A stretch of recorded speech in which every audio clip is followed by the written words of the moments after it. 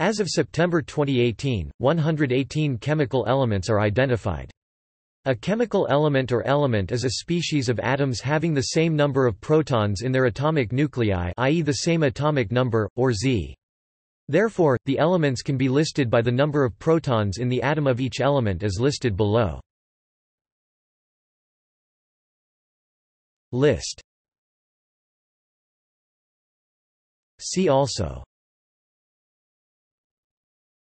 List of scientists whose names are used in chemical element names. List of places used in the names of chemical elements. List of chemical element name etymologies. References. External links Atoms Made Thinkable, an interactive visualization of the elements allowing physical and chemical properties to be compared